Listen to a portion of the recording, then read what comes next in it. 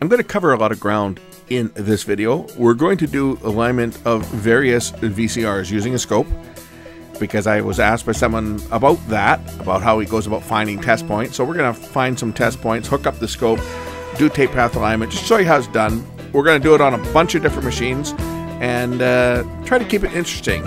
And I'm going to cover all of them. VHS, 8mm, beta. We're going to cover them all.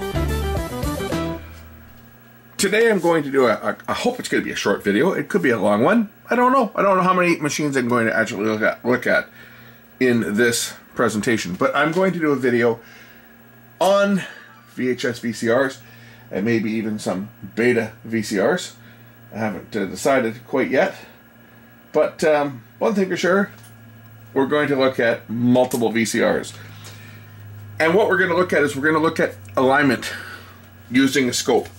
Now I've done videos before where we just do an alignment using a monitor. I did one specifically on aligning a VHS VCR without using a scope. And I had someone ask me about how do I do one using a scope.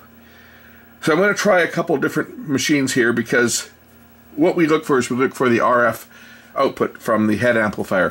And it's in different places on different machines. So I'm going to grab a few VCRs that I've got around the shop and we're going to find the appropriate test point, connect the scope up, and I'll I have run a second camera here today over my shoulder that's going to be showing the the scope. So you can see what I'm doing and I'll, I'll run the second camera when I'm doing the alignment so you can see what I'm doing in real time. And um, hopefully it gives you some insight on how to do this. Now, before we start, the scope I'm using is an analog scope. If you've gone out and bought a digital scope, you probably won't get good results. And the reason I say that is unless you have a very expensive digital scope, they are not going to display the waveform worth crap. I have a Uni-T 100 megahertz, 1 giga, what is it, 1 GS per second, 1 giga sample per second. It cannot do alignment worth crap completely unusable. And most of the digital scopes that are not in the four digit price range are going to deliver exactly the same as this Uni-T piece of crap that I have. Uh, had I known that, I would have saved my 500 bucks or whatever I paid for it and not bought it. But I kind of bought it because my old Iwatsu scope had blown a, a, a high voltage tripler and uh, I needed a scope. And it was before I was able to track down the Tektronix, which was so uh, generously donated by a, a, viewer. It still ended up costing me a, a pile of money, though, because uh, when it was shipped in, I brought it through, uh, I had to bring it in to Canada. I had it shipped to the States. This is before the pandemic, before the borders and everything shut down. I brought it back, and even though it didn't cost me anything other than I paid the freight, I had uh, uh, Richard, don't call me dickhead. At the border, who said, "What do you got there?" I said, "Oh, I was I was given an old oscilloscope." Oh, what's it worth? I said, "I don't know. I, I was given it. It you know, it was it was it was given to me. As far as I know, it's broken. It was just given to me." And Mr. Dick there proceeded to look up the model and find prices on eBay, and then make me pay tax on the prices that he found of them listed on eBay because the fellow that sent it to me did not fill out a form that said no commercial value. Um, this is salvage. Had he checked that box, then I would have got it for nothing. But I had to pay a bunch of taxes on it, so didn't exactly cost me nothing, but uh, cost me a lot less than it would have, I guess, if I had bought uh, a used scope. Anyway, that's beside the point. We're going to use the Tektronix 2465 as our scope to look at the waveform. Now, the first thing I need to do is you need to determine where the waveform is going to be tested from. On Sony's, all Sony machines have a header right there on this one, but they all have a header that you can clip on for checking your alignment. That's the beauty of Sony, is that they all have it. So let's connect this one up and uh, take a look at the waveform. And I haven't done anything to this. This is, uh, nothing's been touched. I haven't messed with this. This is how this machine is from when I grabbed it. For starters, you need a tape that you know is accurate that has been made on a machine that is good because obviously if you make a recording on a machine that the alignment is out then you will be correcting the alignment to a, a misaligned tape. Now one way to do that is to buy a commercial tape. Uh, good luck finding those these days, but they used to be very expensive. Commercial alignment tape used to run well north of $100. Most of them were around $150, and we're talking 40 years ago. Today, finding a, a brand new commercial tape would be a, a, challenge, I think. There may be a few kicking around out there, but they're few and far between. However, you can use any commercial tape. So if you've got a commercial movie, which I, I know I've got some kicking around here now, I won't be using them for this, but you can use a tape. So for example, I could use my Titanic or Jurassic Park tape.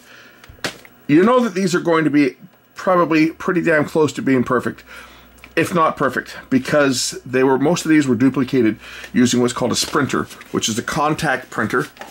Uh, what that what they did was they created a master metal tape that was a mirror image of the signal that needed to be on a tape, and then they basically brought this metal tape, which had the recording on it.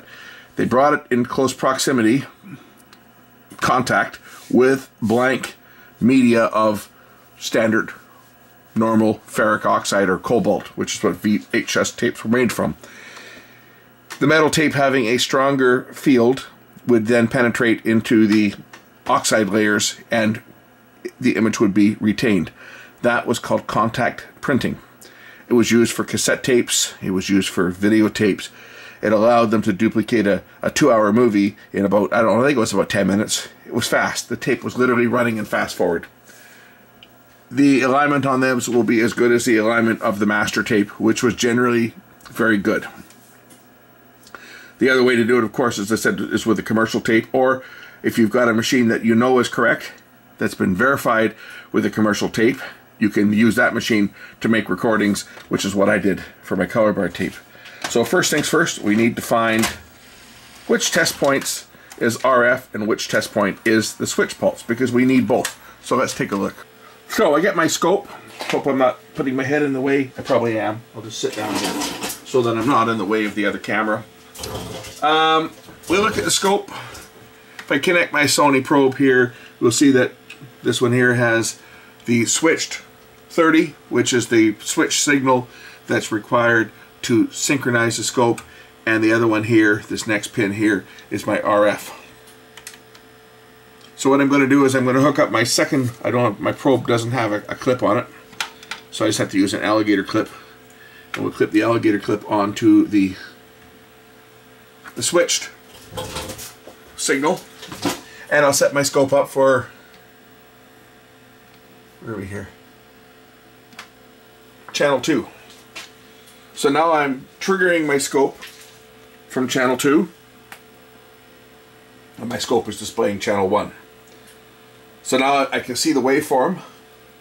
If I expand it a bit, I can see that on the leading edge there, the RF is a little bit lower. But we want this waveform to be flat.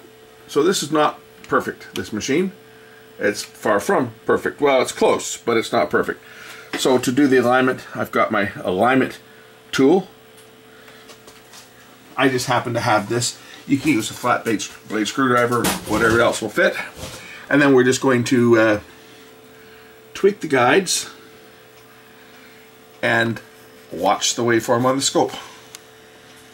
So the guide on the left side of the drum, that's the entry for the waveform, that's the left side. The guide on the right side is the, is the or the, the guide on the right of the drum is the exit.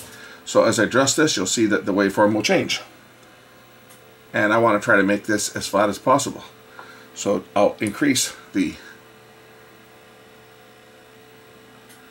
the scope scanning or timing so that I can get an expanded view and then I, oops, and then I can go over and look at the where am I here uh, position look at the other side over here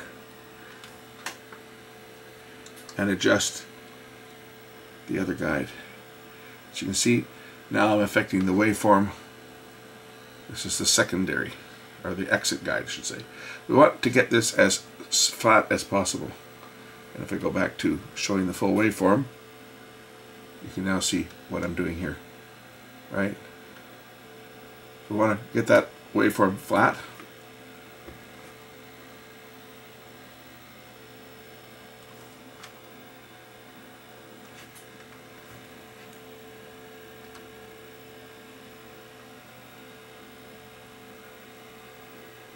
And that is probably about as perfect as this machine's going to be. Looking good.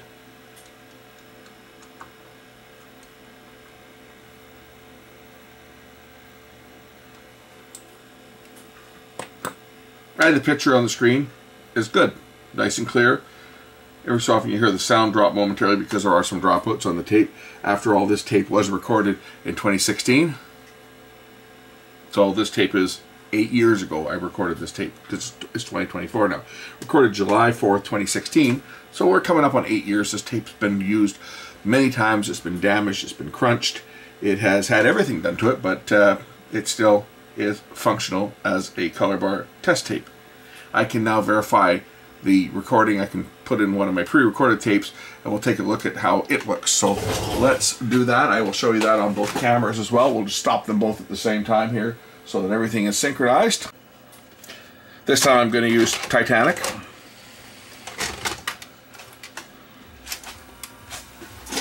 And we'll see how this pre-recorded tape looks. Again, it should look good. Press play.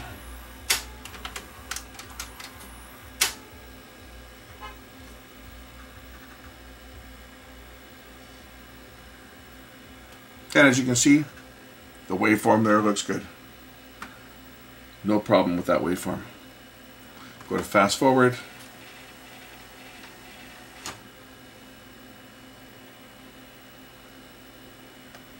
So I could, in a pinch, I could use this as an alignment tape. If I tweak the entry side guide ever so slightly, you'll see. I don't think I can make it any better than that. Yeah, see, it is perfect.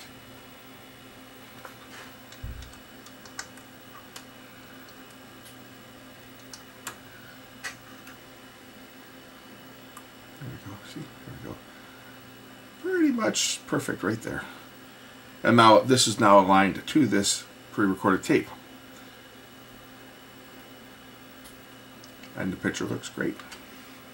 So you can use a pre-recorded tape, and they should all be, I'm not saying that every pre-recorded tape is going to be 100%, but they're going to be very, very close to being 100%, just because the duplicators generally tended to maintain their machines that they used to make the master tape that was then duplicated by high-speed duplication onto these pre-recorded tapes.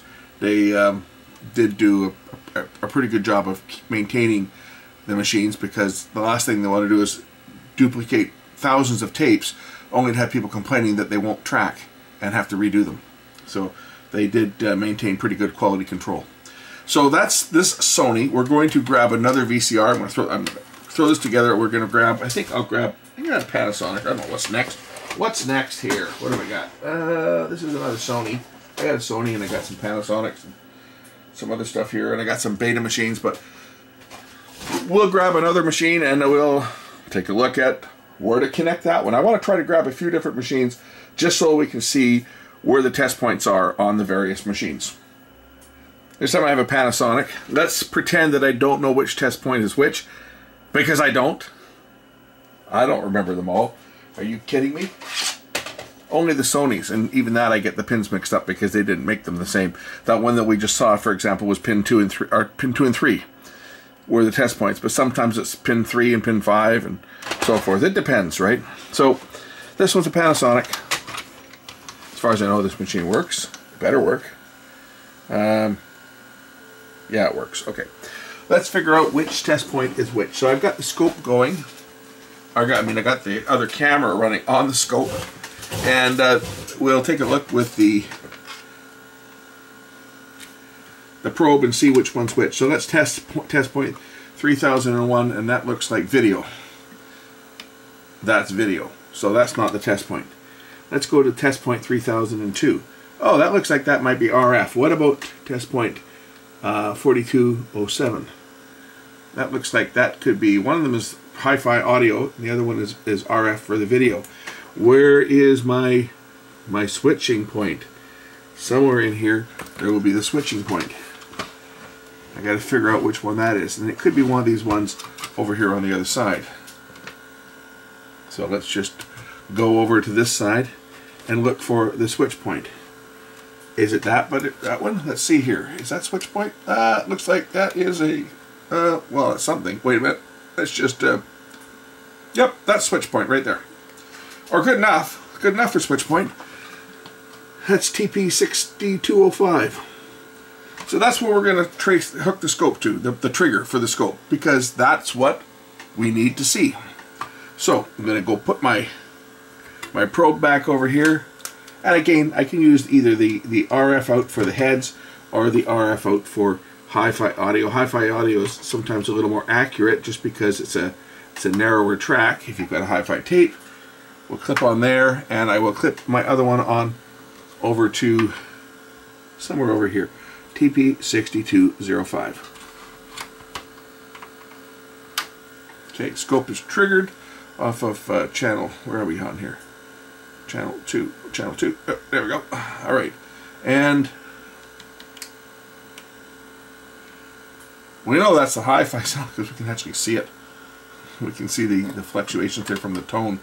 Um, same thing, same thing. The uh, alignment is a little bit off on this one. Not far, but it's a little bit and it looks like it's the entry side which is the left side over here again I could use a slot screwdriver but hell I got the right tool so we'll just put that on there and you see what's happening right we make that flat and the same as on the other side we make it flat if I go to the from the um, audio to the this is the video output, the, the video RF, because we've got two separate heads, right? We've got a pair of heads that's tracing the audio, and we've got a pair of heads that's tracing the video track. There's two, there's two tracks recorded on the tape at different angles. That's how VHS Hi-Fi worked. VHS Hi-Fi worked by recording the audio at a deep level and then recording video over top of it. And say the audio Hi-Fi track is usually the one that you want to try to get, but I can show you this one here. You see, same thing happens.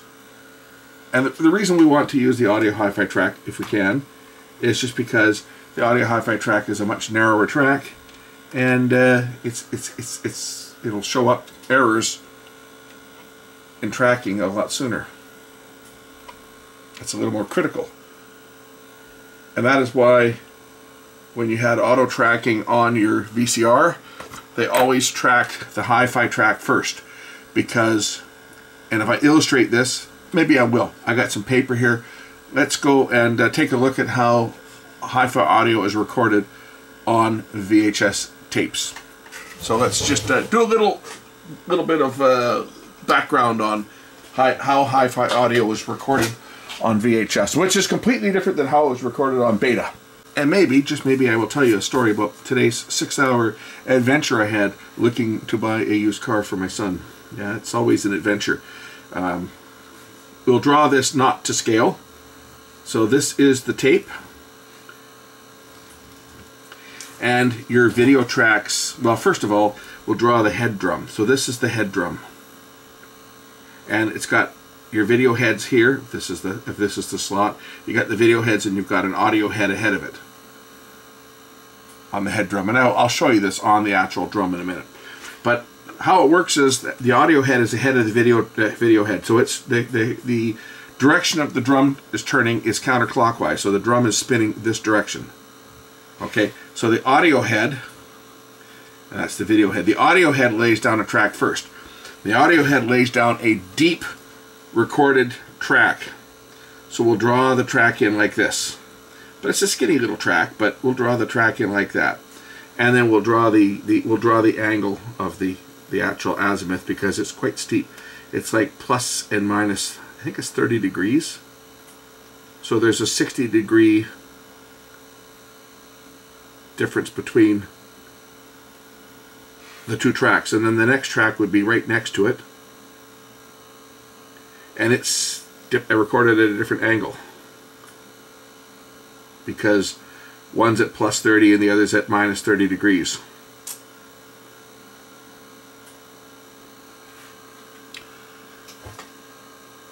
That's the audio track. And then when the video head comes along, if you're recording an EP, the video head would be about the same width, the video track would be about the same width. But if you're recording an SP, actually, if you're recording an EP, the video track would come down right over top of this. Pretty much, pretty much exactly the same tape width. It's like 22, 22 or a little bit less microns for the audio head. Uh, if you were recording an SP, your tracks would actually be spread out. So your your one track would be here for audio, and then there'd be a big gap, and then the next track would be there for audio because the the audio heads use skinny little tracks. I know, not drawn to scale, but you get the idea. Audio would be like this. And then the other angle this way. My pen looks like it's running out of ink. Anyway, video track comes along. So for EP, the video track records directly over top of it, and but it records, again, a plus and minus 6 degree. So instead of the tracks being like this, they're actually opposite. They're more like this one, but not to the same not to the same degree. It's more, more almost more perpendicular over top.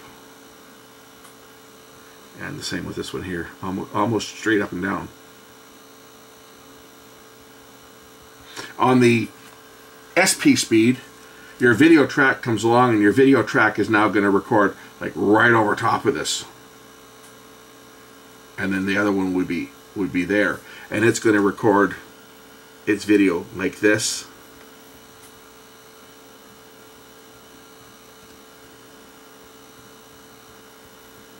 And the other one would be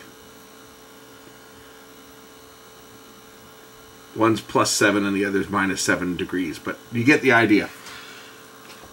On playback, because of the steep angle difference between the audio and the video, the audio signal can be picked up by the audio head. There's going to be interference from the video signal, and that's what was causing that roughness on the edge of the of the waveform.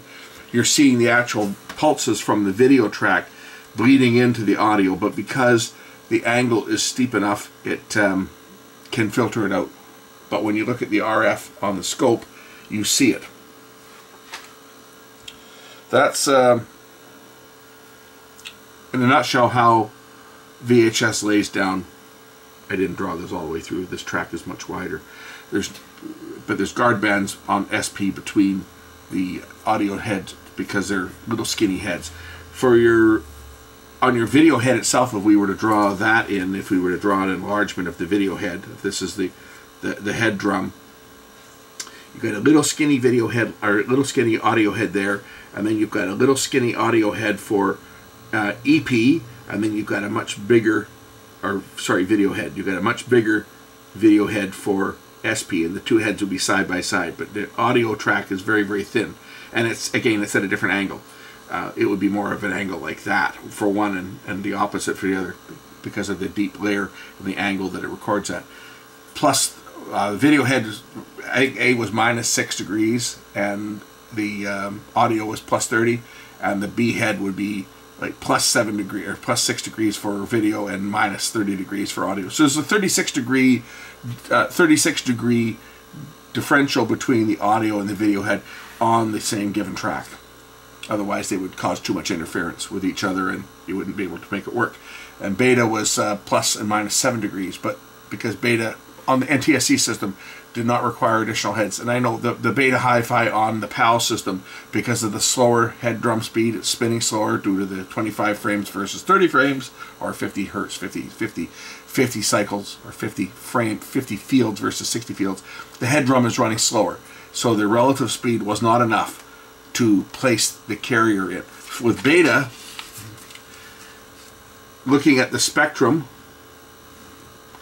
okay, your your color was down here at 688 kilohertz, and then there was room for four little audio carriers for two for the left and two for the right because you have two heads, right? You got left and right for head A and left and right for, for head B. So you have a left, right, left, right for the A field and for the B field. And then the video, it went and took up the rest of the spectrum. It got away with it on beta and 8 millimeter Hi8 because there was enough bandwidth between the chroma and the luminance. But because on PAL, the head drum speed was slower, so your video had to be recorded at a lower frequency, so the video actually came right down closer to where the 688 kilohertz color was. This would be video or luminance. And this is the chroma. VHS, because again VHS has a smaller head drum, so the rotation speed, even though it's the same, there's a slower head to, to tape relative speed.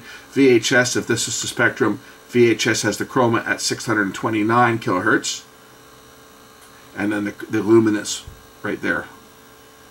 And 8 millimeter, if we want to go down that road, if we have 8 millimeter, 8 millimeter, same thing. Chroma is at 733, and then you have the carriers for the two carriers if it's a mono machine, four carriers if it's a stereo machine, and then of course the luminance. So 8 millimeter worked just like beta for the uh, where they put the sound, and all 8 millimeter used AFM audio. There was no linear sound on 8 millimeter. Anyway, that's that. I know you guys are dying to hear my story about my car shopping, so I'll tell you that right now. Um, so when my son turned 16 in 2016, like all 16 year olds, yeah, I get a car. Uh, he wasn't so interested in getting a car. And I said to him, I said, hey, I'll tell you what, you get your driver's license. You can have my Thorens TD165 turntable because he was getting into vinyl. And he's all excited. He goes and gets his learner's permit. And um, I give him the turntable. But he doesn't learn to drive he had a perfect opportunity. His grandfather gave him his car when he lost his license due to old age. Um, but he never learned to drive it. In fact, he bumped another car and that scared him and he wasn't going to drive. I tried for two years while he had his learner's permit to get him to learn how to drive. And he, he would not do it. He had the thick skull that he did not need to drive a car and he was going to take the bus everywhere for the rest of his life. Or so he thought and it was too easy just to pick up his phone and press a button on his phone and have a hamburger delivered for $25 15 minutes later. That was too convenient. Skipping the dishes and DoorDash or whatever those apps are. I've never used one, so I, I can't talk about how expensive, other than the fact that how much he told me it cost. And he was telling me to, to get to get a Big Mac and uh, some chicken nuggets delivered. It was like 30 bucks. It was ridiculous because, of course, they charge more but then the driver always wants a tip. So every time he's, he's having to tip the driver five bucks because if he doesn't tip the driver five bucks, next time he orders it, the driver says, "To hell with you! I'm not picking it up," and it just sits there getting cold. So uh, yeah, lots lots of expensive lots of expensive hamburgers and lots of very expensive pizzas. If I want a pizza, I go up and get get it myself, and I can get a pizza for ten bucks. But he's paying twenty five bucks to have the same thing delivered. Um, anyway, he lets his lets his license expire. Doesn't bother to learn to drive, and brings me down his uh, or brings me down my TD 165 and says, "Here, you can you can have your turntable back. I'm not going to drive." Fast forward to this year, and he decides that he wants to drive. And I said, "Well, if you get your license, I'll get you a car." So that's that was that was today's adventure. 300, uh, just under 300 kilometers round trip to go there and back. I had to drive all the way out to Kent Anybody who knows the, the Vancouver region realizes that Kent is actually, uh, uh, it's beyond Chilliwack. It's between Chilliwack and Hope. It's a long haul. It's over by, it's over by uh, um, Harrison Hot Springs and stuff, if you know the area. Uh, anyway, I drive all the way up there to this car. I think we found a great car. Low mileage, uh, listed at 124,000 kilometers, but it's an older car. It was like, I think it was a 95. And uh, but you know, okay, it's only got 124,000 kilometers, 124,500 kilometers. Oh, that's that's looking good. That's like it's almost broke, just broken in, if it's true, right? So I go out there and look at it, and um, well, I, there's a few things that were not present in the ad. If had these been present in the ad, I probably wouldn't have wasted my time. But I get there, and you know, I noticed that the the headlights were, um, well, it's these plastic headlights, and I, I I think I got a picture of it here on my phone because I took some pictures of the car. And uh, anyway, uh, here is the headlights. So, as you can see, the headlights are starting to get cloudy because they're plastic. So that needs to be addressed. There's a little little oopsie there, a little dent on the hood. He says someone backed into him. And, uh, I mean, other than that, the car doesn't look to be in too bad a shape. I'm blocking the license plate on here just for the seller's privacy. But it's the right color. My son wanted a green car, so found him a green car, and it doesn't look to be in too bad a shape. And then I took it out for a drive. Yeah, it's, you know, a couple little scuffs on it. A couple little scuffs here and there. Right? A little bit, you know, but uh, again, a 30 year old car, that's to uh, be expected. So I, I get in the car and well, let's take it out for a drive. So start it up. Check the oil. Oil's clean, okay, but you have just cleaned it. Could have changed the oil. I don't know. Start it up. First thing I notice is that the ABS light is on. Well, that's strike number one. And the traction control light is on. That's strike number two. Okay, well, we'll, we'll take it out for a drive. So I, I take it for a drive. Eh, it seems to accelerate okay, and handles okay, and I don't feel anything loose. Everything's sounding okay. I don't hear any strange sounds coming from under the hood. I did notice that the speedometer was bobbing, though. It was doing the, like, you know, you know, normally the gauge on a speedometer should be pretty state, steady, but this one's doing this. So I noticed that the speedometer is kind of bobbing around a bit. So I got alarm bells going off in my head here thinking, hmm, did someone undo the speedo cable from the transmission and hook up a drill to it and spin it backwards and run down the miles? Or did they take the speedo apart and roll it back? Hmm, you got to think, right? You got to think about people selling cars. Did that happen? Well, I don't know. But uh, take a little test drive, come back, right? And uh, then I, uh, I noticed putting into park that, well, the, the gear shift is kind of a bit stiff going into park. I had to put extra effort on it getting it into park. So that's the next alarm bell. Okay, why is this sticking? Has this thing been crunched? Is there an alignment problem between the linkage? But was stiff going into park. So that's the next alarm bell going off. I turned on the heater and it's like, oh, the fan's not working. It's not blowing any air on either hot or cold. Like the fan is completely out. Okay, and the guy's like, oh, it might be just a fuse. Okay, yeah, it might be a fuse, but maybe the fuse has been pulled because there's another problem, or maybe something is shorted and blew the fuse. So that's the next alarm bell that goes off. Then I get out. I say, can you pop the trunk? He goes, yeah, I don't have the key to the trunk. I said, pardon? Ford used to have a separate key for the trunk. He says, I got to pop it from the inside. So he goes inside the car and he pops the trunk so I can open the trunk up. And of course, the trunk's clear. The trunk is clean, except for the spring that holds the trunk open is no good. So the trunk won't stay open. You have to hold it open or use a stick. So I was like, oh my God, this thing's got lots wrong with it. I don't think this is going to be a car to buy. It's uh, so now he my wife the one, was the one that contacted him. He contacts her and he says, "Yeah, I'm willing to negotiate the price." I bet he is. I said, "Like you, you better really negotiate the price if you think I'm going to buy that piece of crap from you." You know, I mean, it might, it might run fine, but I'm just kind of a little bit gun shy when I start seeing all these little quirks on this car. And I mean, I mean, people think, well, I, I'm an electronics guy. What do I know about cars? Uh, I'll tell you one thing I know about cars. Before I was in electronics, when I was younger, I used to tinker a lot with cars, and I can tell you I blew a few cars up. I blew up cars that uh, one should never be able to blow up. I um, I managed to blow up a 1966 Plymouth Valiant engine, 225 slant six. Anybody who knows cars knows that that's the indestructible engine that will run forever. You could. Some people say you can run it without oil. I can assure you, you cannot run it without oil. I can certainly assure you that. Um, Rodney uh, put an extra inspection port into the block to prove that fact. And no, no, I did not run it out of oil. Okay, what had happened was me and my goofy friends, when we were young, uh, used to go flying around the old farm roads, and uh, there was a set of railway tracks that were a little bit higher than the road, and you could almost get air over them. And uh, we used to fly over these tracks, and well, one day I flew over the tracks, and well, I didn't know what was on the other side until I hit it. It was a, a, pitchfork that was lying in the middle of the road with the prongs facing up, and I didn't even know what the hell it was. I just saw what looked like a piece of like a stick. Uh, what happened was the pitchfork went right through the oil pan and into the engine and got all ground up inside there. And well, it didn't take long for the engine to start making some pretty, pretty bad sounds. Let's just say.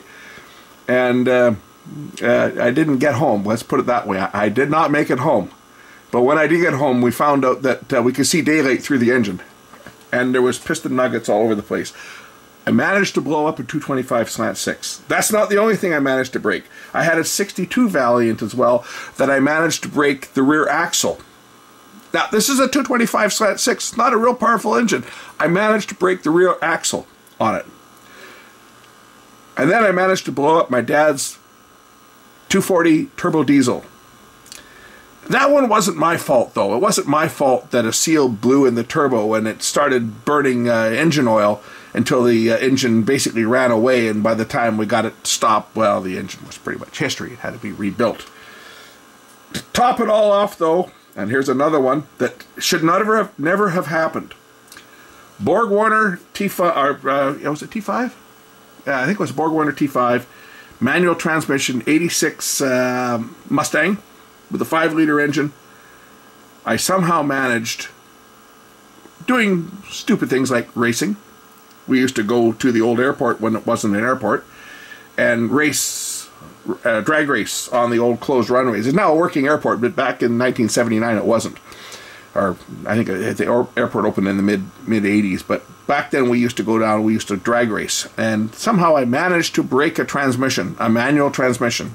I managed to break it. So, and of course, every time I broke these things, I had to fix them myself. So I do know a few things about cars and what sounds they shouldn't make. And this one wasn't making any unusual sounds, but when you see all the check engine, not check engine, but the, the ABS light comes on, that could be uh, ABS pump for that matter. It could be a sensor. It could be the pump, and also the uh, the the um, traction control. Right again, it's all all linked to the ABS system. So I think oh, this, car is literally, if it's a $500 car, it might be worth investigating, but not for what the guy's asking. Not at this point, anyway. But that's my little story. I wasted half the day. I left at like 9 o'clock in the morning, or 9.30 in the morning. I didn't get back till like 3 in the afternoon, and now I'm playing around with VCRs. Anyway, I figured you guys might like that story. Let's get another VCR up and uh, take a look at the test points on it. This time I'm on a Toshiba.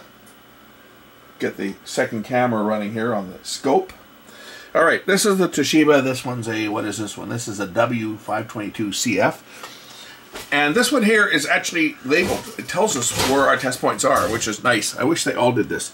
But if you look down here on the board, there are test points. And it tells us, it says Look at this. Video out, audio out, give me something to point with. Video out, audio out. Envelope, switching pulse, control track, ground. Okay, so let's uh, let's ground the scope on the ground signal. I could actually use the tuner for that matter. It's the same thing. I'll just clip it on the tuner. We will clip the envelope on here. And I mean, I can show you guys the scope. Let me show you the scope. Uh, play it back. You're looking at the scope. If I tap it onto the HD, the head switch, that's HD switch. Doesn't that doesn't stand for high definition switch. It says head switching because that's what we want. To, we want to, we want the scope to trigger on that, and we want to look at the the envelope. So, oh, head clog there momentarily. So we'll clip this one onto the envelope and we will clip the other one here onto the head switch. I know I need another probe, but I'm just too cheap to buy one. They're like 60 bucks. So I haven't bought a second one. All right, now here we go. Look at the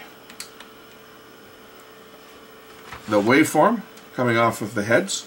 One head's a little lower than the other, as you can see. If you look at that, I'm looking at the other camera to see what I'm doing. Other camera's over my shoulder. Hey, maybe I'll do some two camera stuff. Wouldn't you guys like? Would you guys like to see two camera sh shoots? Because I certainly, I can certainly do it. I got you know, put the second camera over my shoulder. Um, well, I'm a little more work for editing, but um, I can certainly do that on some videos. But I figured on this one because I'm dealing with a scope rather than. Usually, what I do is I do one shot, and then I realign the camera and and do the shot of the scope and basically do the same thing over reenact it for the camera for the cutaway rather than do it with the two cameras. But I can certainly do it with two cameras. That's not a not an issue. Make sure that I'm not in the shot because, of course, when I reach up to do anything, I'm gonna be in the other camera uh, um, field of view. So again, this one here, you can see one head is a little lower than the other, and that's just probably due to head wear. But the alignment on this one is not bad. But you can see, I can tweak it there. I'm looking at, I'm doing the exit guide, you can see. Get that flat, and then we'll go to the, the other side over here, and we'll adjust that one to try to make that one as flat as possible as well. And you know that's the alignment is correct. And of course, sometimes you know, they're they're really bad. Like if it's like that, you're going to see it in the picture, right? If you're like that, you're probably not going to really notice much in the picture. It's close enough, but ideally you want to try to make it as flat as possible. That's the Toshiba. Mm -hmm. But uh, what I'm getting at is, you just have to look at different test points, and you you can figure them out with the scope. You, you don't need to be a rocket scientist to figure it out, even when they're not labeled. I mean, this one makes it just so easy because it's labeled. But even when it's not labeled, you can see it. And if I look at the audio out, there's the audio, right? There's the waveform from the audio. That'd be the linear audio, I'm pretty sure. And then, of course, video out, that's the video signal. At, at 60 hertz, and if I crank it up, we can uh, look at the... Uh, I have to actually delay it here if I want to look at a single line. But there's the color burst. You see the color burst?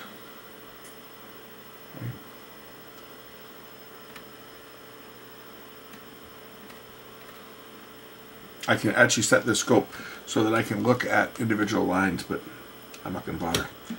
Not for this. This is uh, looking at the, the, video waveform. There's, there's video. We're just looking at the, a, a full field. Anyway, that's um, that's that one.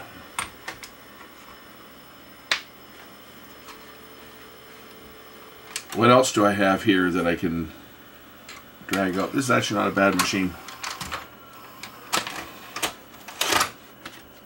Let me see what else I can drag out and uh, we can set up on the bench. I don't want this to get going. I don't want this video to be like hours long. I don't want to be a Mr. Carlson two-hour marathon. Sorry, I had to. I had it. I had to say that because I've read not on my channel, okay, but I get um, on Facebook, somebody made some comment, and, and, I don't know who it was, but somebody made some comment, and somehow uh, Paul's channel came up, and some of the some of the comments were quite, let's just say, quite funny about how long his videos are. He says he takes he takes an hour to explain something that could have been explained in five minutes. And I, I have to say, and I'm not taking any shots at Paul because I've known Paul for years. He's a ham operator. I've known him for many, many years. He's a smart guy, but uh, he, he likes the old tube stuff, okay? He loves his old tube equipment.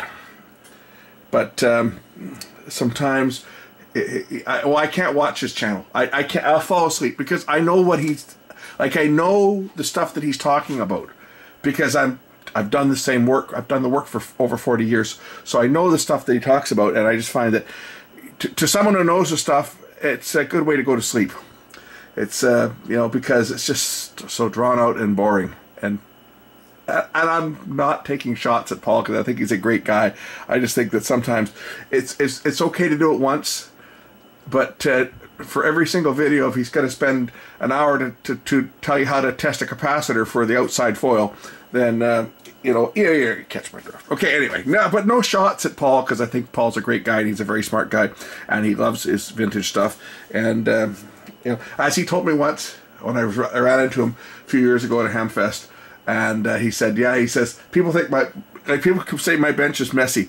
His is a set. You should know that. That what he shoots on is a set." He said to me, "He says, don't look behind the camera." he says, "I don't show you what goes on behind the camera."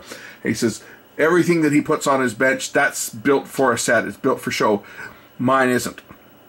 Mine's a working bench, but when he's working." the stuff that's not on camera, his bench is not as pristine as it looks on camera. I'll just say that. And that was right out of his own mouth. I haven't been in his shop, but uh, that's what he told me when I ran him, ran into him a few years ago at a Hamfest. And I think I did a video on the Hamfest and everybody saw him there. But uh, yeah, he says, yeah, it was uh, just don't look behind. You know, that's what you see on camera is not what the rest of his shop looks like. The rest of his shop looks like every other shop, which basically looks like mine. When you're working, you don't keep everything pristine. but for on camera, see, it has a little separate area that he records in. And it's spotless. Let's get another one. This time I got a Sony Betamax. Well, uh, I got an alignment tape for this too, a proper alignment tape. But we'll, we'll first do a rough calibration using the tape that was recorded on my machine, which is probably pretty close. I haven't checked it in years, so we'll take a look at it first of all with this one. So loading the tape, as you can see, the beta thread's a little different. This is the 711 chassis. The 710 chassis threads the other way. In fact, on my opening logo, when you see the beta that threads this way, that's actually a Betacam machine that I showed. But the consumer beta using the 710 chassis and the earlier chassis, SL 5000 series, SL 8600, all the 5000 series, 8600, 7200, they all wrap the tape this way, like the Betacam machine. When they went to the 711 uh, chassis, they went to this type of a wrap with these pins that drop down. Don't know quite why they did it. Well, I think I do know why they did it, because it was cheaper. It was a more compact mechanism. They designed this one for the Portapak, the SL2000 of the day. That was the first one. And the 2500 and 2700.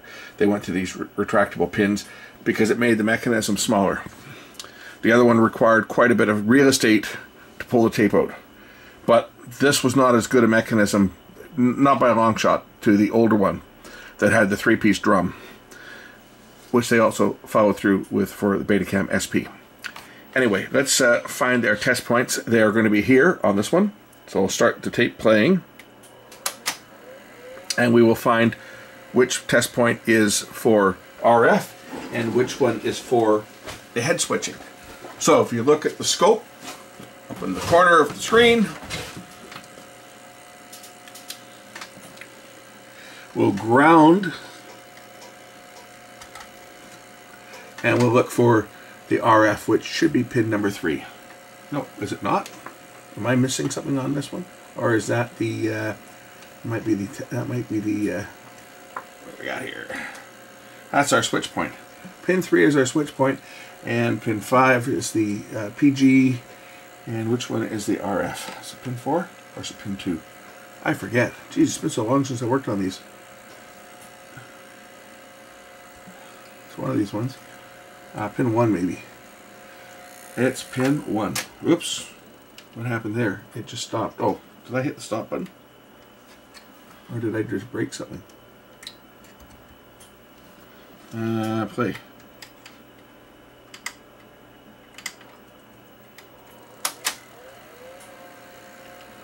Okay, that's our RF.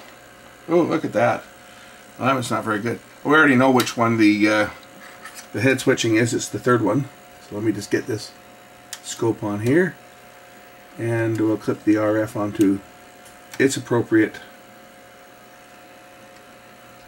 test point. There we go. Okay, now. Oh, that doesn't look very good, does it? How's the tracking control? Tracking control is dead center. Again, I don't know whether the machine that recorded this is 100% or not. It might not be. But one thing for sure, that waveform looks like it could use a little bit of adjustment. On the beta machines, these are our adjustment points. One is right here, and the other one is over there. Because I want to make sure that my alignment is to factory specs, I am going to use the actual Sony alignment tape, which is this one right here. So we'll just eject this one first.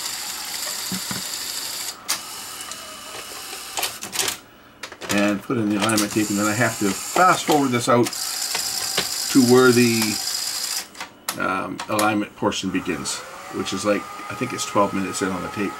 So it'll take us a few, few minutes to get there. Good thing I got beta scan. Color bars. See color bars. Let's see how color bars look. How do they look on here the color bars don't look too bad on beta there's actually a, a special alignment section which only has RF on one of the heads. So the, the machine I recorded that other tape on probably should be checked. This is this one's the monoscope I'm looking at now. Again, looking good. Right, this machine looks to, um, uh, actually looks to be pretty much perfect. But we'll go to the actual section of the tape. This is the RF sweep now.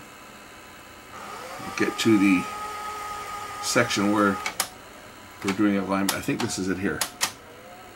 Uh, yeah, that's the RF. So what Sony did on theirs is they only recorded the RF on one head. The other one just does this blip, blip, blip, blip, blip. And that way we could take a look at the, the one head that we're going to do the alignment with and see that it actually is off a little bit on here. So we set our tracking control to center, which is right there. And we're going to tweak the guides. The entry guide here will affect the waveform on this side as I move it. See? So turn that up and bring this over this where we here? You can see the uh, uh, the waveform changing there. You see? So we want that to be flat, and then we go to the other side over here, and this one here. We do the same. And I'm going to use a screwdriver on this just because I don't want to damage this. This one here's set for a screwdriver.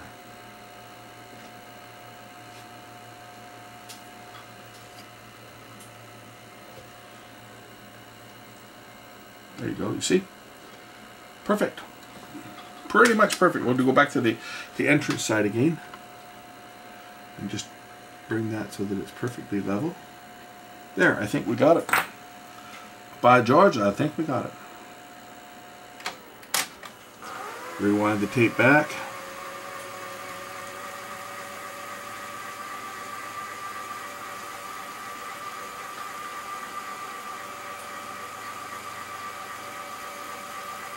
And I'll throw the other tape back in and just verify that everything looks good. Oh, it's got a tape counter. I could have gone by that because it has, it actually has the counter marks on here. It's four minutes each, but it says like, like it says between 75 and 100 on the tape counter is where the RF sweep is. Between 100 and 124, had I zeroed this at zero, it would have been uh, fairly close, or should have been fairly close. The old mechanical, old mechanical tape counter?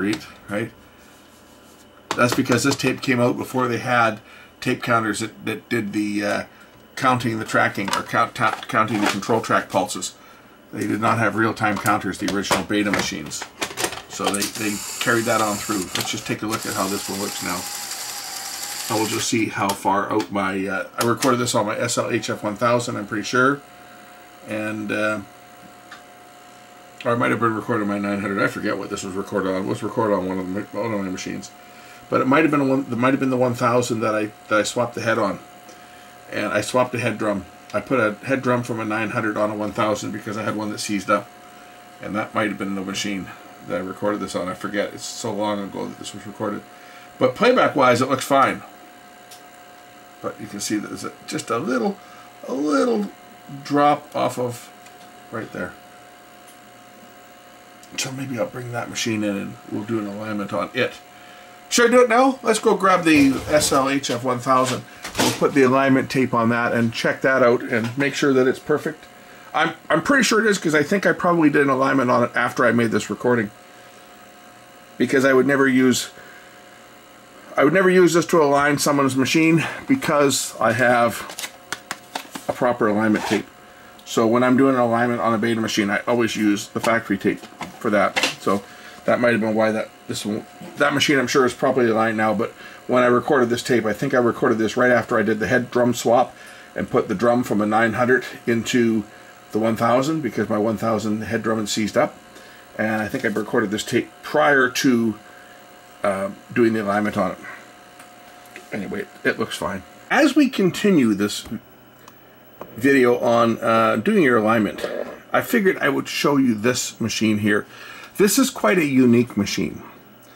This is an 8mm VCR, but it's different than most of the 8mm VCRs that you've seen, and I will drag out a different chassis in a minute. But we're going to look at this one first. Again, the alignment is done using the same test points that we had on all the Sonys. All the Sonys have a header on them, which makes them relatively easy to set up because you're not looking for different test points. They actually have it right there for you. What makes this one different? Can you spot it already? And we're going to look at the other one in a minute. But essentially there's two types of loading mechanisms that are available for video equipment. The original video loading was called the U loading system, sometimes called the Omega Wrap. And it was originally used by Betamax. Actually, it was originally used by 3 quarter inch. You see a, a 3 quarter inch machine on my opening uh, logo. And you see it on Beta. And you also see it on, well, 8 millimeter. Uh, maybe you haven't seen it on 8 millimeter, but this is the original 8 millimeter loading system. Look familiar? I think it does. It looks exactly like beta.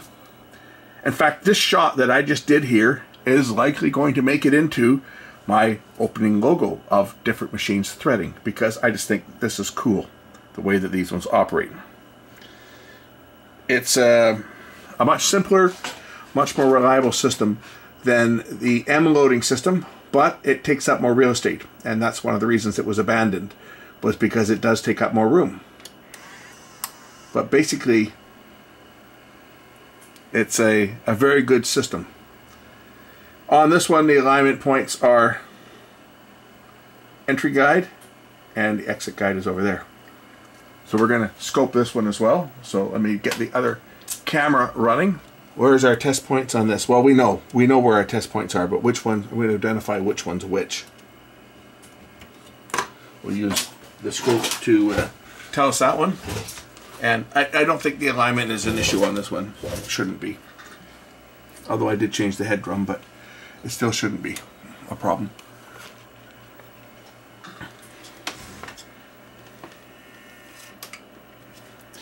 And a crease went by on the tape. I guess you guys saw that. and the crease went by again on the tape. Oh, I think the tape stuck. What do you think? Oops. We'll have to fix that.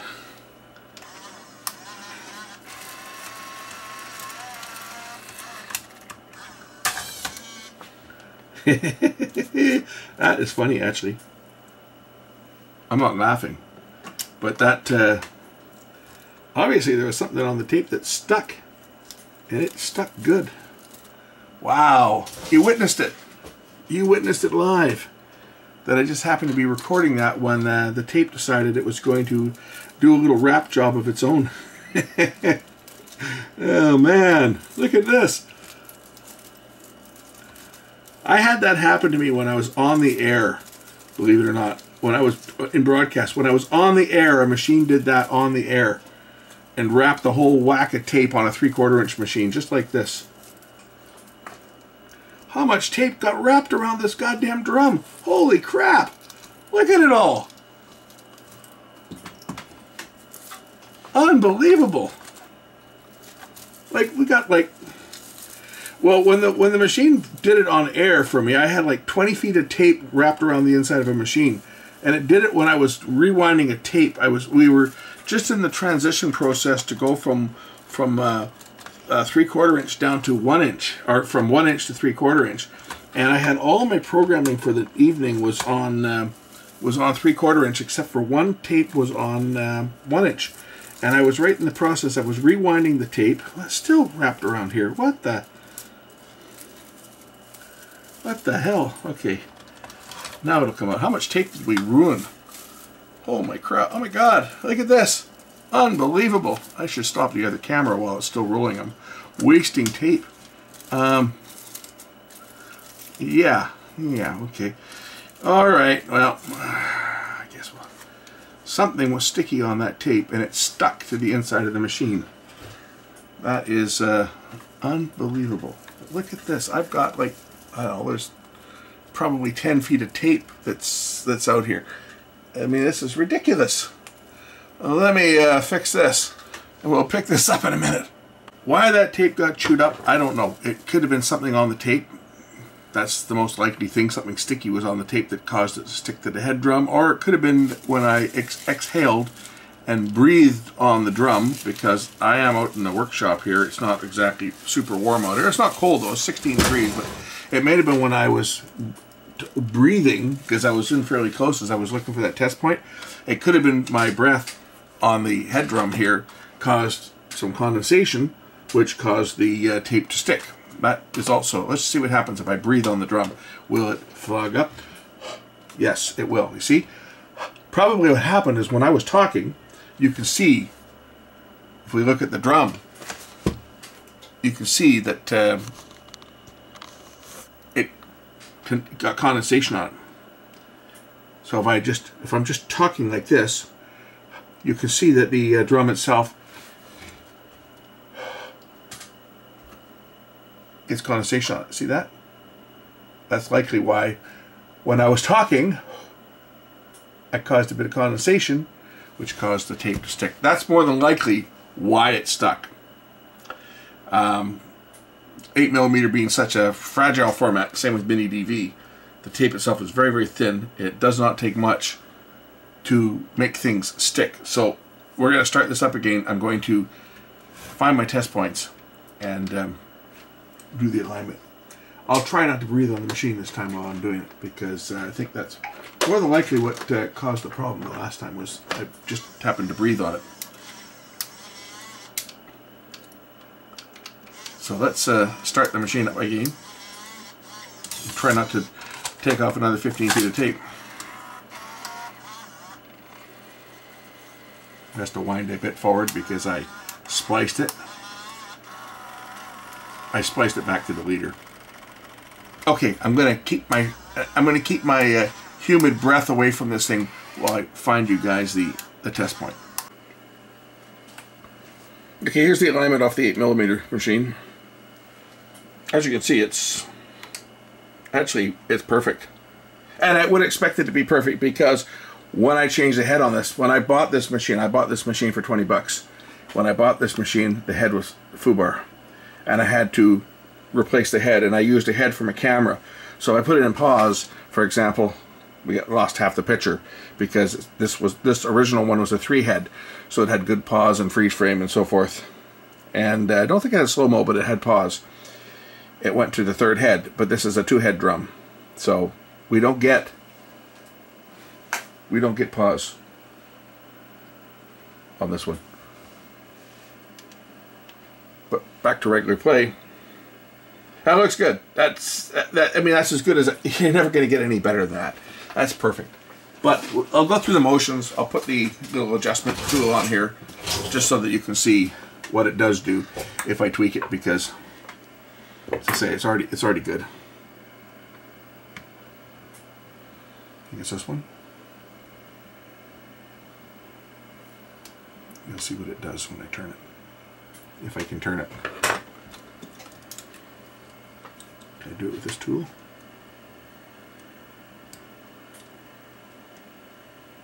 This one just uses a screwdriver. That's what I need for this, just a regular slotted screwdriver, for at least for this guy.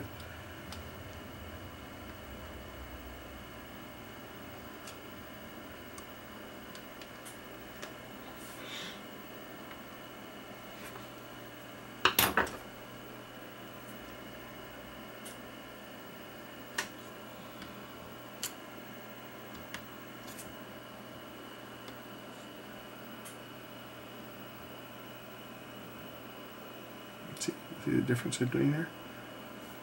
And then the other one is over here. This is the entrance side over here.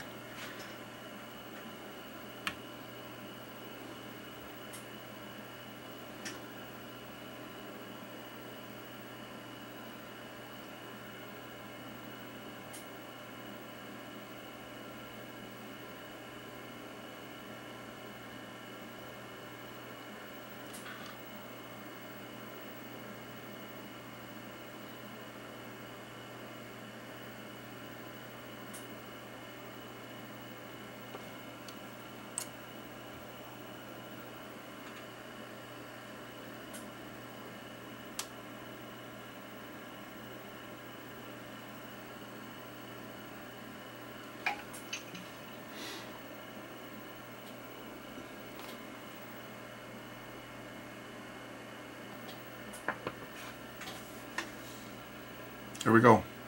Perfect. Picture looks great. Every so often you see a little glitch because the tape's got dropouts in it.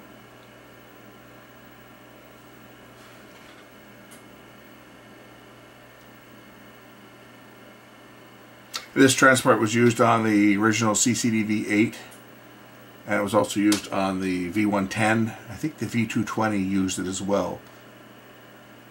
And then they went to the M loading, which I mean, 8mm can use either. And for that matter, VHS could have used this a U loading as well, right? Um, Beta could have used an M loading. Uh, it doesn't really matter. When you thread the tape, everyone thinks, oh, well, VHS used the M loading because the M loading was better. Well, it, it actually wasn't better. It was just it made for a more compact mechanism, and uh, this is actually simpler because the tape stays loaded. But it doesn't really matter across the formats. That's what I'm trying to point out. They, they can use either an M loading or a U loading. Uh, 8 millimeter used both. Uh, the M loading became the standard because it was more compact than the U loading and um, even though this was simpler because everything was all on one on one mechanism on one loading wheel one big gear that uh, did all the loading. This was actually a simpler mechanism to operate and reliability wise this would have been better but uh, it also took up more space. And for camcorders which is what the 8mm format was basically targeting was camcorders. For camcorders space is everything. You want the, the smallest amount of space. So speaking of that, I'm going to go and grab a M loading 8 millimeter, and we'll take a look at that, which is you know, more familiar, what you're familiar with, which is the uh, mechanism used on VHS. But I just wanted to show you this, and I think I think that that tape eating being eaten there, that segment's going to have to go onto the uh, onto the opening. What do you guys think? That'll have that piece that piece where that tape got eaten has to go into loading in, into the uh, opening logo at some point. That's classic. Anyway, let's eject this tape and you can watch how this thing unspools.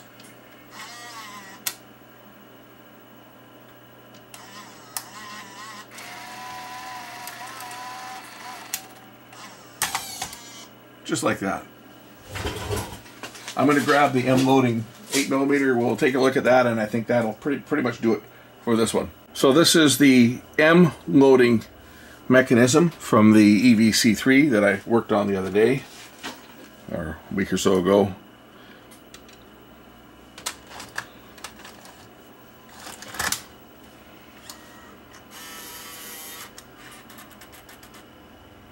As you can see, the, the mechanism is a little more compact. It doesn't need as much space as the U-loading mechanism needed to uh, thread up the tape and this one plays fine it's working in good shape I'm sure the alignment is good on this we'll identify the alignment test points they're going to be back here and it's going to be the same as um, to be the same as the uh, all the rest of them the Sony's be probably pin 3 and 5 or 1 and 3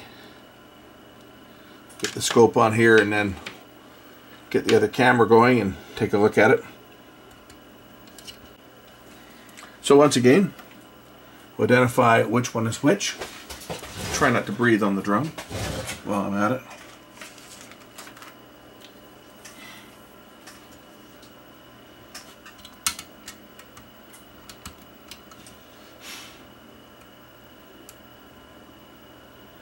Number three.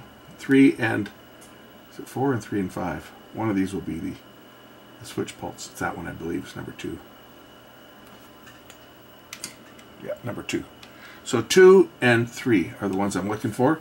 We'll just bend these down so that I can quickly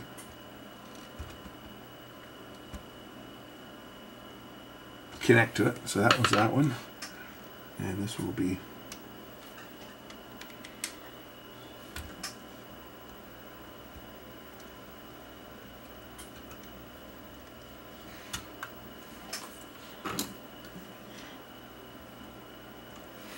Yeah, Sony had plugs to plug into these.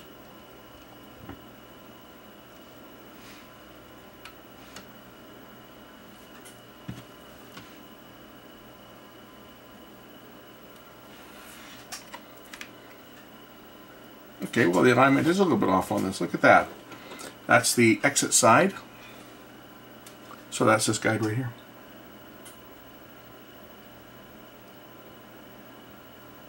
These ones are loose. Look at that. Wow. Okay, we'll just make it perfect. The, um, I guess the lock screw on this is not tight. This is a machine that I use for when I'm transferring tapes that are out of whack, so um, I have the guides intentionally loose so that I can just tweak them very, very quickly and not have to deal with uh, fiddle farting around, loosening and tightening up lock uh, posts. But there are there are little lock screws on here. I'll show you where they are. They are on the side here. I think they are on the side on these ones. Where the heck are they? They're right down here. You can see them. I can take this out of here now. Don't need that in there anymore. The alignment is correct on here, so let's get the scope out of the way. And there are little screws right down on the side, down here, the little black screws. And that is what locks the guides in place. So you tighten those down and it stops them from turning. There's one on this side over here, a little black screw there, and a little black screw over here. And you just tighten those down and that will prevent them from spinning on their own. That's one of the problems that happen on these machines is the um, alignment or the guides work their way loose and once that happened the um, guides could just walk on their own. It's really common on all these type of machines.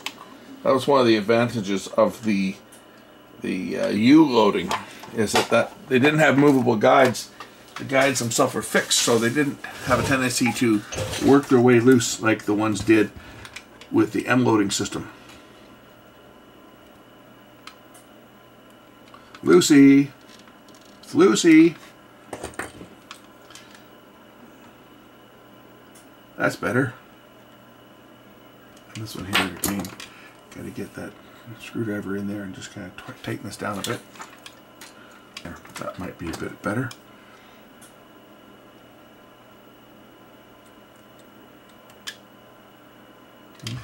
Still a little bit on the loose side. Problem is getting in here, there's this other guide, or this other roller that's in the way. So I can't really get in there that well with the screwdriver to try to get this thing tight.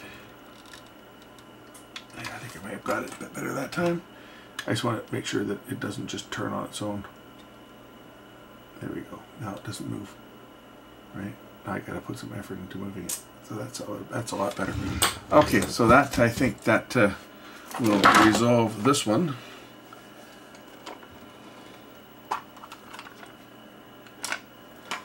I'm trying to think if I've got any more machines to bore you guys with. I do have more machines. I do have other ones. I don't know whether I should even bother uh, going down that road and putting up a JVC. Maybe I will, just because I, I've shown you a Toshiba, I've shown you Panasonic, I've shown you a couple Sonys. Uh, I do have a JVC. We'll put that one up and try to finish it off because we're getting kind of long in the tooth here if you know what I'm, I'm talking about. I'm getting into Carlson territory and we don't want to be into Carlson territory. That's not a good place to be. I was going to show you this machine, but I think this machine's broken. So, it's ticking like it's going to explode. Did it turn on?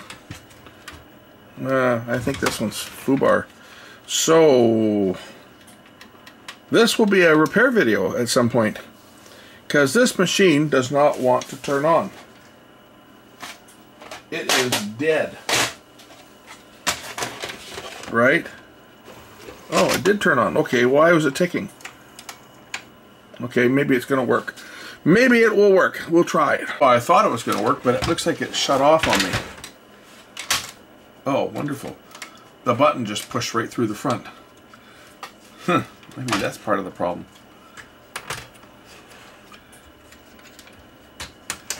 Um, okay. Uh, the, the power button just kind of snapped off on this piece of junk. Uh, does not want to turn what, what turn on to put tape into it. Okay, the power button doesn't work. Wonderful. It turned on. Uh, and then it turned off. Wonderful! The hell's wrong with it?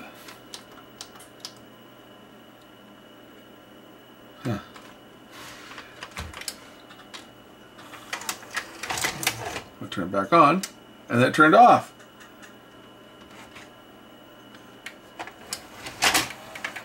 Will play? Put it into play. Well, it's playing.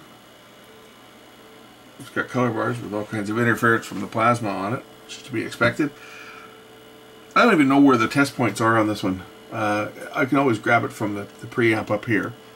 You can always just plug into one of these and get my get my um, my RF there. There should be RF back here somewhere. This uses modules. These ones use like vertical modules in here that have got all the circuitry on them, and, and they use those funky ICs that JVC was so famous for, which makes them a piece of junk. Yeah, my books, these ones are a piece of sheet These ones are the ones that the guideposts actually detached at the bottom. That they were held in place by little little metal clips, and the clips would break free, and uh, the guides would fall right out on them. They were just uh, horrendous, horrendous design. Again, like all the JVCs, I'm not a JVC fan of VCRs. JVC made a couple good things. They made uh, some, a few amplifiers that weren't too bad. Uh, they made some a few cassette decks, not many, but they made a few. TDV 1010 was one that was a fantastic tape deck that they had. But for the most part, a lot of JVC stuff was just garbage. Just total sheet, as they say.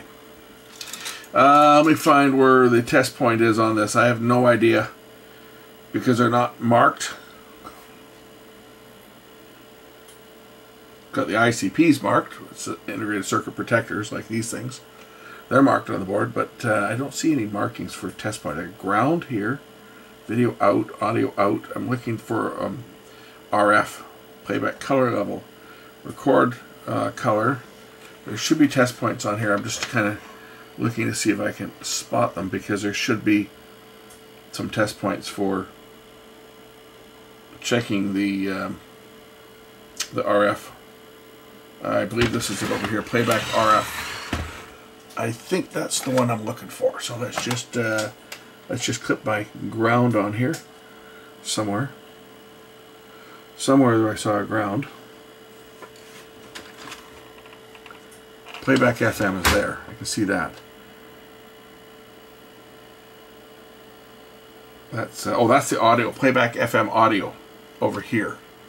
So you guys can't see because the light is shining on it. Where's my ground? I saw a ground test point here. Ground, there we go. Ground, right there. All right. So let's look at the FM audio, which was that one. I think that's it. Yeah, that's it. I'll get the other camera running. We'll find the, I gotta find the uh, test point for the, um, the switching point too. So we'll dig that one out. All right, I got my AFM on here. That's the audio FM. I'm clipped onto it over over here. Uh, I don't even know where the where the um, the test point for the switching pulse is, the head switching. There's got to be one here somewhere. I'm just looking for it. Is it is it this one? Control pulse. Is that the one? Let's just see if it's this one. Uh, that's a control track pulse. I can trigger to that. Uh, okay, I'll go back to AFM and I'll go over to the other one over here and we'll just trigger from that control track pulse. The one that is marked control pulse. We just need a, a, a reference. Okay, so we got a reference. Not a very good reference. Is it this one? There we go. All right, we got our reference. Now I can tweak the guides. And again, I'm using the AFM because it's a weaker signal. And we can just adjust the, that's the exit side, and the entrance side is over here.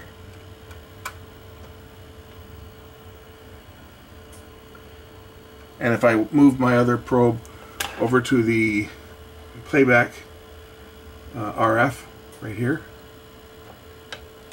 much stronger signal off the video because the audio head is very, very weak by comparison. Where are we here? Oh, wrong. Turning the wrong one. There we go. Okay. Now we can see the video, right?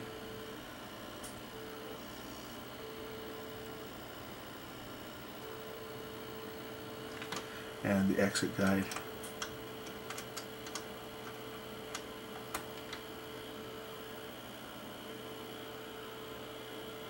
Try to make that flat as possible, and the same with this one.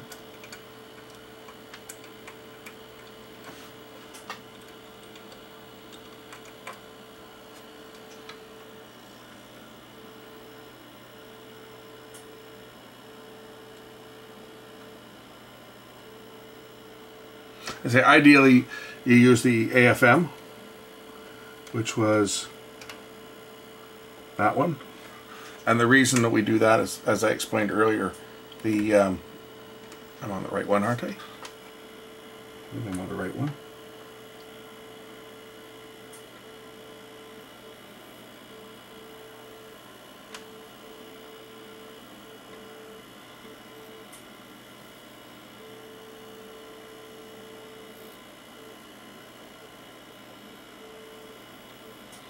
I've lost my test point. In here somewhere. Playback AFM right there. That's this one right there. Um,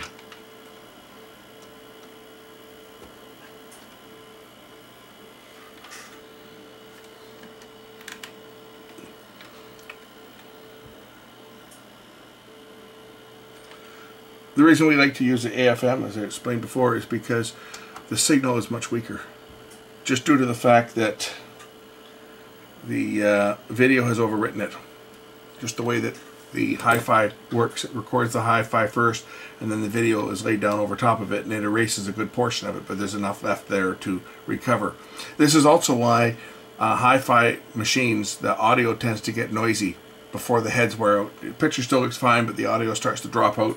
Switch between hi-fi and normal, which this one's doing because the hi-fi heads on here are probably just about shot.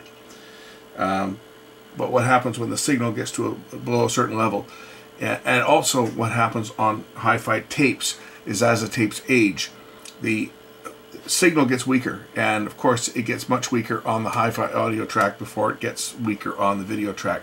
So I really get a good laugh when people say I use my VHS hi-fi to record music on because it sounds so good.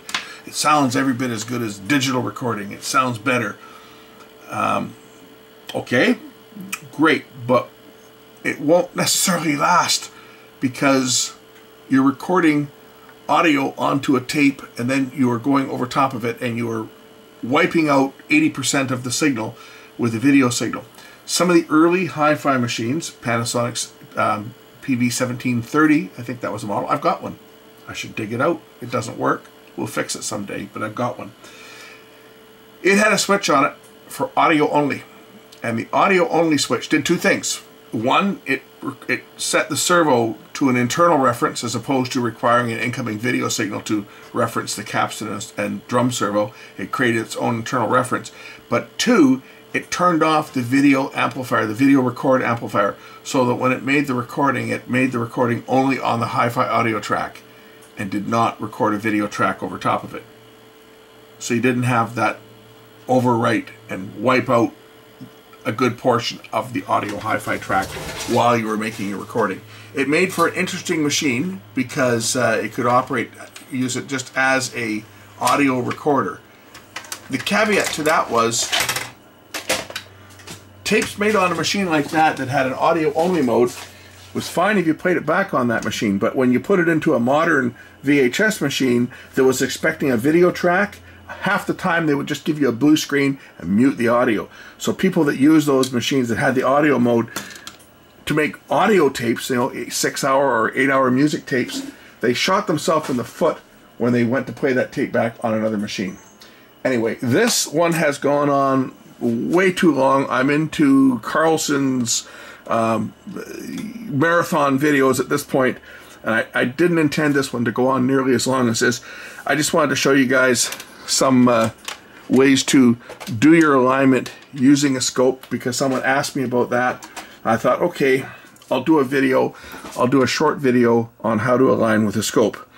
And then I thought, you know, we need more than one machine because not every machine is the same. I want to give you guys an idea of what to look for when you're looking at test points, what waveforms to look for, what you need to set up your scope with. So we covered JVC, this one. We covered a Sony, we covered a Panasonic, we covered a Toshiba, we covered a Sony Beta, and the two 8 millimeter machines, both with the, uh, and we got that beautiful tape eating session, which I was completely unexpected, and that got me by surprise.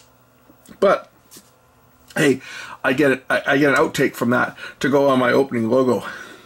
So, um, thanks for watching, and uh, we will catch you in the next one. I'll tell you what's coming up, because for those of you that watch my videos, it, chronologically, I've got a, uh, a Denon CD recorder coming up. I've got a Sony reel-to-reel -reel machine that the customer did some of their own work on it, but it's got a speed problem. Everything's going slow. So that was brought into me to, to fix the speed problem. We'll be getting on that this week. And, uh, oh, I'm sure I'll find other stuff. But it, what's immediately coming up is a Denon CD recorder uh, and uh, a, a Sony reel-to-reel will be coming up. And then I'm sure there'll be other stuff. There will be, because there's stuff coming in all the time. But that's what's coming up in the next couple days. Thanks for watching. We'll catch you next one. Bye.